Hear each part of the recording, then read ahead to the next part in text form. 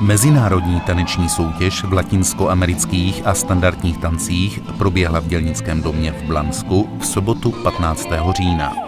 Soutěže se zúčastnili taneční páry z celé České republiky, ze Slovenska, Polska a Maďarska ve věkových kategoriích děti, junioři a dospělí. Soutěžilo se ve výkonnostních třídách od hobby, začínajících až po páry třídy B a na parketě se vystřídalo celkem 234 párů.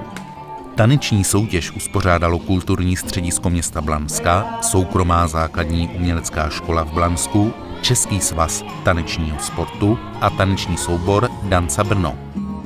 Každý tanec trvá zhruba minutu, během níž musí ukázat každý pár svůj talent a zúročit tvrdou dřinu, kterou vložili do tréninku.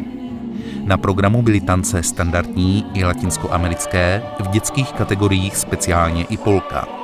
Výkony tanečních párů hodnotilo celkem 11 odborných porodců.